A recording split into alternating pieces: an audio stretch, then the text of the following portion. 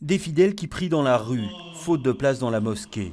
C'était lundi à Molenbeek, lors de la prière mortuaire des funérailles de Rachid Adash, prédicateur et enseignant de religion islamique.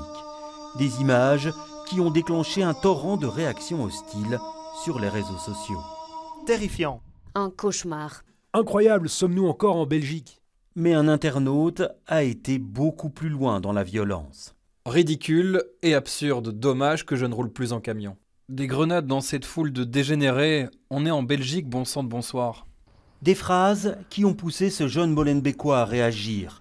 Il a saisi UNIA, le Centre interfédéral pour l'égalité des chances. J'ai été vraiment blessé que voir qu'en 2020, il y a toujours des personnes qui incitent à la haine. Je, je suis né ici, euh, la plupart des jeunes sont nés ici, la plupart des jeunes qui étaient euh, présents ce jour-là sont nés ici. Et voir certaines personnes encore inciter à la haine, c'est vraiment choquant.